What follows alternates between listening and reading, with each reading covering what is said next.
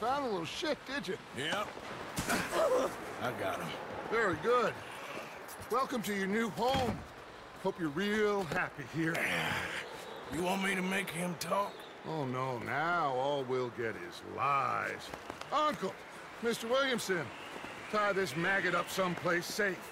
We get him hungry first. I got a saying, my friend. We shoot fellas as need shooting, save fellas as need saving, and feed 'em as need feeding. We are gonna find out what you need. I can't believe it! An O'Driscoll in my camp! I ain't an O'Driscoll, mister! I, I hate that fella! Oh, whatever you say, son. Well done, Arthur. I'm just sorry we missed out on Colm. Oh, there's time enough for that. Now, I gotta figure out if we can hit that train. Okay.